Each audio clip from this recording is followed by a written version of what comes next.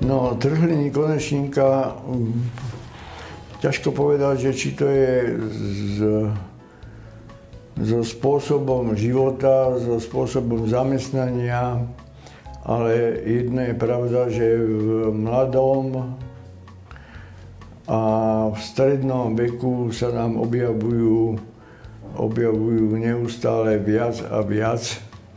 Možno, že to je aj tým, že sa ľudia prestali až toľko hambiť a mm, došli lekárovi, lekárovi skôr. Je to um, pomerne veľmi nepríjemné ochorenie pre pacienta, ktoré je sprevádzané rôznymi, by som povedal, širokospektrálnymi obťažami, ktoré pacienta dosť traumatizujú a mm, robia mu mm, diskomfortný spôsob života. Je to mm, mechanické poranenie slížnice, slížnice konečníka. Rozdeľujeme to zhruba do dvoch veľkých skupín, chronické a akutné.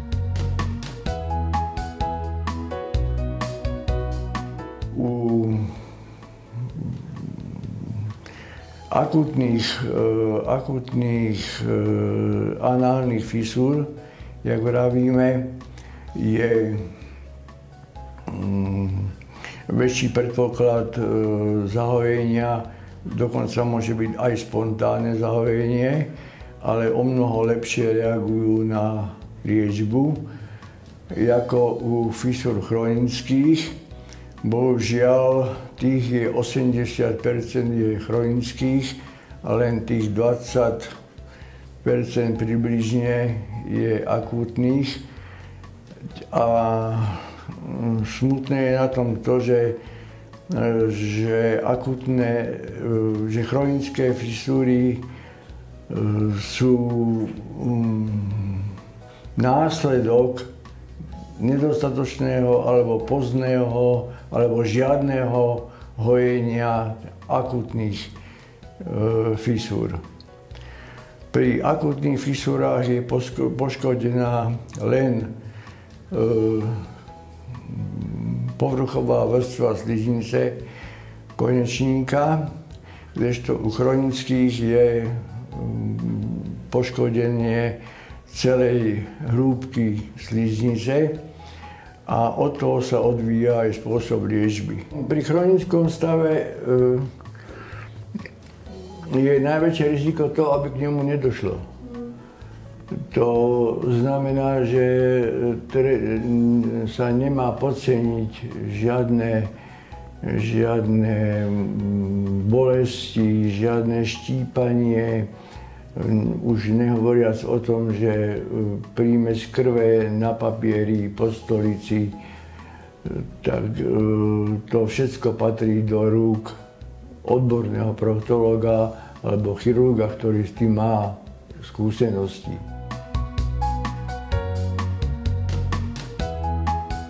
Spôsob e,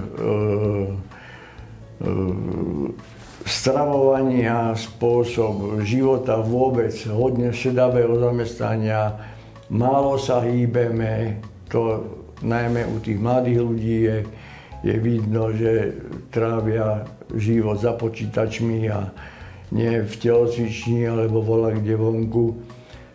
Takže to sú také dôležité veci Vraví sa, že veľký vplyv má na to veľmi tvrdá stolica. Ale tá takisto z veľkej miery súvisí so spôsobom stravovania a mm, zase s tým pohybom. Takže mm, je to taký blúdny kruh, z ktorého je veľmi, veľmi, ťažko, veľmi ťažko mm, vybrdnúť. Následne mm, príde k prasknutiu tej úplne povrchovej vrstvičky e, na tej sliznici ako akutná fisurka, ktorá je pochopiteľne neliečená. No a bolesťou tam príde k spazmu.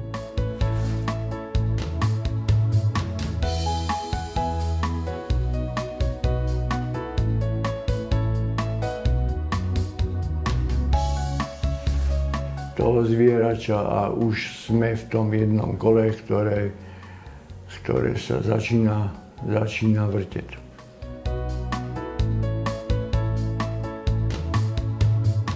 Bolesti sú u obidvoch, u obidvoch e, ochorení jednaké, len s tým rozdielom, že že pri chronických fistulách bývajú, bývajú bolesti intenzívnejšie, bývajú hneď pri, hneď pri defekácii, pri stolici, ale môžu pretrvávať aj 2-3 hodiny po, po stolici, čo je spôsobené, spôsobené spazmom rektálnych zvieračov. Zvyčajne bývajú uložené na zadnej, zadnej komisúre e, análneho, análneho otvoru.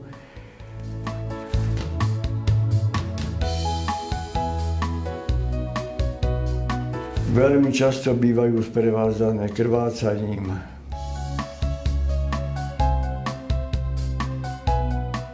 obťaže eh, u chronických, eh, chronických físur sa veľmi často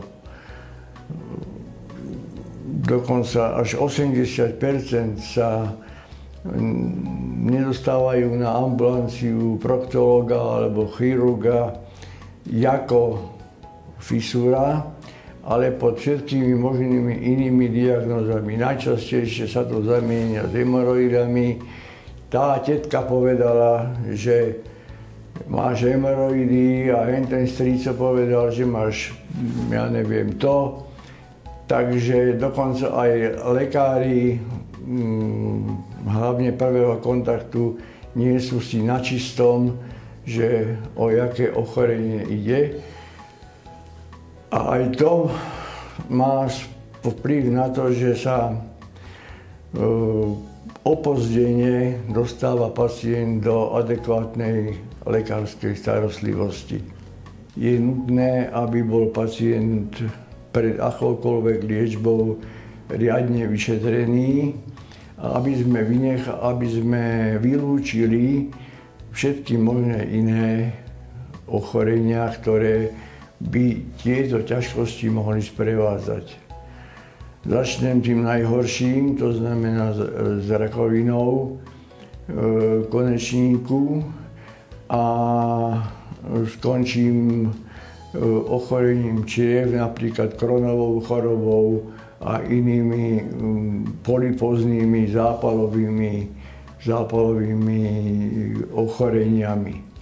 Toto všetko potrebujeme vylúčiť, k tomu, k tomu pacient musí byť vyšetrený vždycky pred e, akýmkoľvek zákrokom musí byť vyšetrený anoskopicky alebo proktoskopicky. A pri zvlášť závažnejších prípadoch e, indikujeme dokonca aj kolonoskopiu.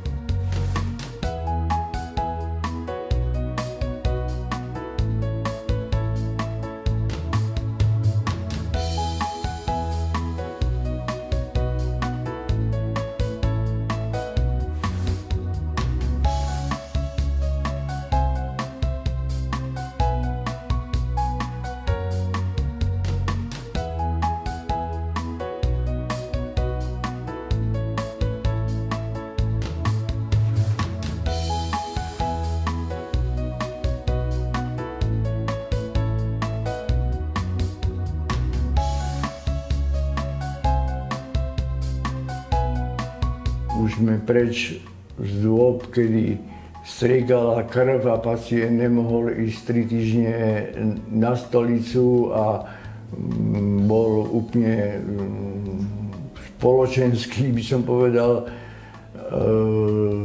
znemožnený, práce neschopný, pochopiteľne a tak ďalej. Takže e, čím skôr pacient príde, čím skôr sa, sa ten problém diagnostikuje exaktne, tým rýchlejší je návrat k normálu a tým rýchlejší je, mm, je a istejšie je zahojenie. Viac pacientov nepríde,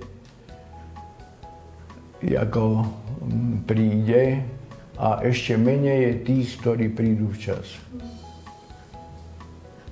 A nakoľko vravíme, že to je ochorenie mm, mladých ľudí a stredného veku, týmto je závažnejšie od ekonomických e, záležitostí počnúc až po um, ich budúcnosť, lebo to je vec, čo otravuje, doslovne otravuje e,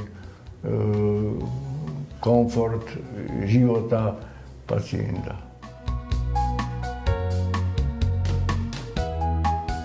Do konca 90. rokov alebo do polovičky 90. rokov sa e, tieto problémy riešili, sa riešili operačne. E, od týchto dôb sa um, traduje, že treba vyskúšať všetky možné konzervatívne prístupy uh, k tomu, aby pacient bol vyliečený a zbavený svojho, svojho trápenia.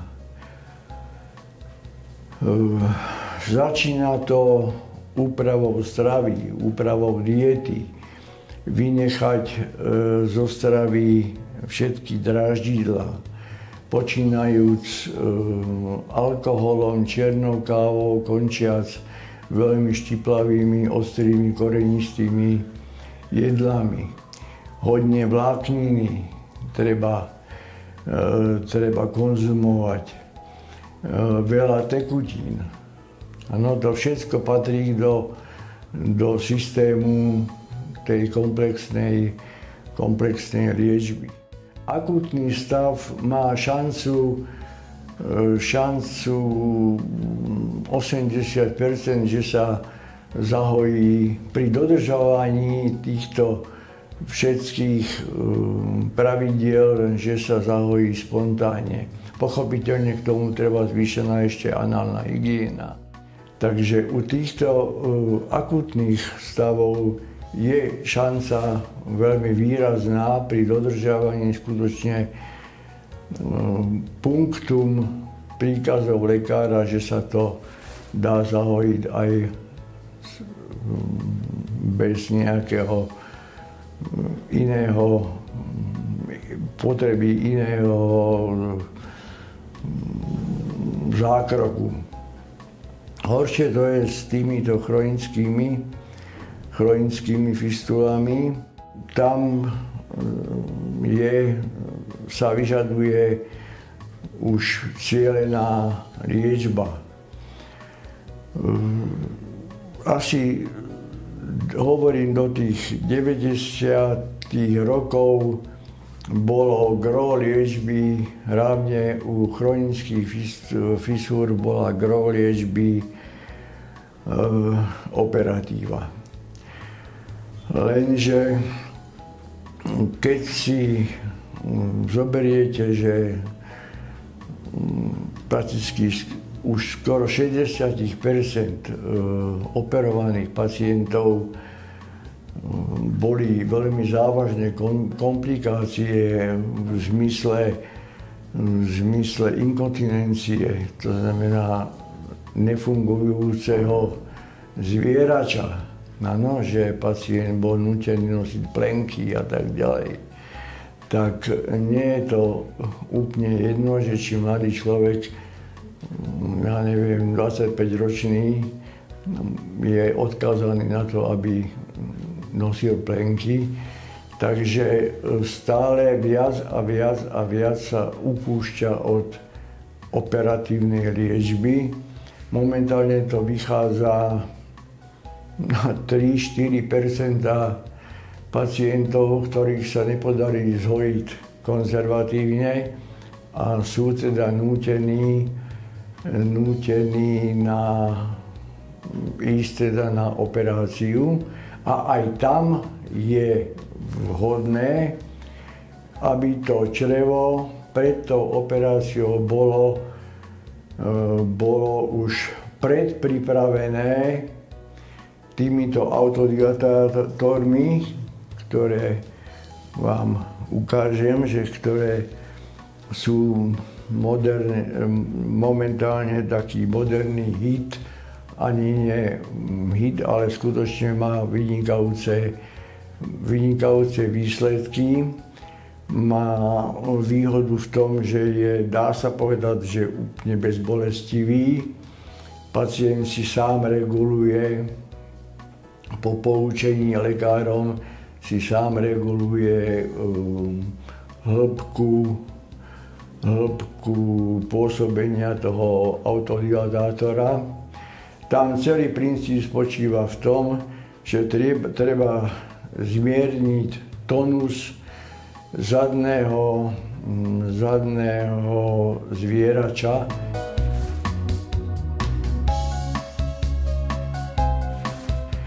Lebo hm, to je taká zlá kombinácia.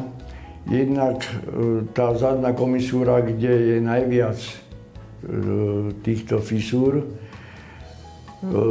je najmenej prekrvená a keď tam ešte je na to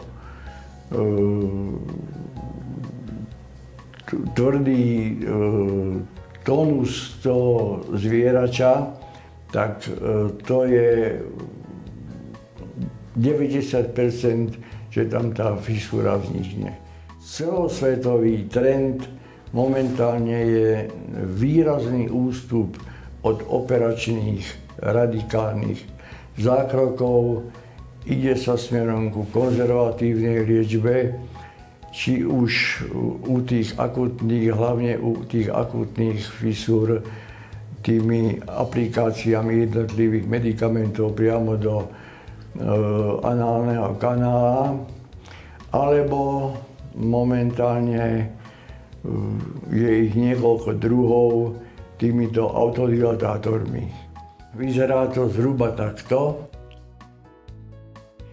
V prvých 14 dňoch po patričnom poučení pacienta sa zavádza, zavádza e, tento autodilatátor po túto risku, ano, po toto prvé, prvé zhrubnutie. 95% pacientov udáva, keď už nie zhojenie, to asi nie, ale podstatný ústup obťaží. Ano, že sa že mu vymizli bolesti, nebojí sa už ísť na stolicu, tým pádom tá stolica nie je kamenná doslovne, ano. Takže po 14 dňoch pri priebehu úplne normálnom si pacient môže zaviesť, zaviesť e, prístroj do tejto hĺbky. Ano. Pritom to zostane do mesiaca od naloženia autodilatátoru. Potom príde na kontrolu a my anoskopicky, proktoskopicky e, pozrieme cez prístroj, pozrieme do toho análneho kanála, v jakom stave, skutočnom, v jakom stave je je eh, tá daná fisúra. Eh, dá sa povedať v zhode s svetovou literatúrou, aj s našimi ešte nie veľkými skúsenostiami, že u akutných fisúr prakticky e, všetky akutné fisúry sú do tých, 14, do tých 4 týždňov zahojené. E, u chronických fisúr to vychádza tak na 60 ku 40 Niekto hovorí 50 na 50, niekto 60 na 40. E, to ovšem nemení nič na veci, že aj u fistúr, ktoré nie sú zahojené, nepokračujeme ďalej v liečbe. No a celý ten proces prebehne ďalší, ďalších, e, ďalšie 4 týždne. No. A zase sa to teda skontroluje protoskopicky. Zostáva nejakých 8-9% ktoré nie sú napriek tejto, tejto terapii zahojené a tých od 5 do tých 8-9 tie sú potom indikované už na operačný zákrok. Takže e, keď zoberiete, že vola kedy sa 80% pacientov operovalo a teraz sa operuje 8 tak je to dosť podstatný, rapidný, rapidný rozdiel, nehovoriac o komforte samotného pacienta lebo tie zákroky si viete predstaviť, nie sú nejako príjemné, ani není to žiadna labuš. A toto je skutočne, dá sa povedať, bezbolestivé na lepšie vsunutie tohoto dilatátora používame mezokainový gel ako lubrikant Takže aj to trošička e, zlepšuje, nakoľko tam je mezokain, tak zmierňuje tú ani nie bolesť, ale ten nepríjemný pocit. E, dĺžka aplikácie je dvakrát, teda dvakrát denne a dĺžka aplikácie sa pohybuje od 15 do 20 minút to tam treba v tom konečníku mať. Potom sa to môže vybrať, poumývať, dať preč. Je to všetko o tom, aby sa uvoľnil, uvoľnil krč toho, toho zadného, zadného sfinkteru konečníka. To je, e, to je alfa a omega celej liečby, aj operatívnej. Doteraz sme mali, doteraz sme mali, to je také ešte veľmi smiešné číslo, lebo hovorím, že s tým len začíname. Doteraz sme mali štyroch pacientov a zatiaľ tá, zatiaľ tá úspešnosť bola 100%. Takže a z toho jeden, jedna tá pacientka bola pacientka, ktorej som robil predtým pomerne rozsiahle vonkajšie hemoroidy touto metodikou.